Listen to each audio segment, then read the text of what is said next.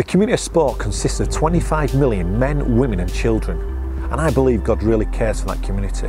You see, if we look at a community no different to anyone else, are we any different? But I believe if we look at a community through the eyes of a compassionate God, we will respond differently. A moment's revelation demands a different response. If you have a heart after God and a heart for people, join us on the journey. You can do three simple things that makes a massive difference. You know, one, if you're dropping your kid off or your grandchild off at their club or you're going to your health club, instead of just going, why don't you be intentional and pray for that community? Pray for them families. Two, we've all stood on the touchline and talked on the touchline and berated the referee, but instead of berating the referee, maybe we can say a simple prayer Lord, wherever you're at work, can I join in?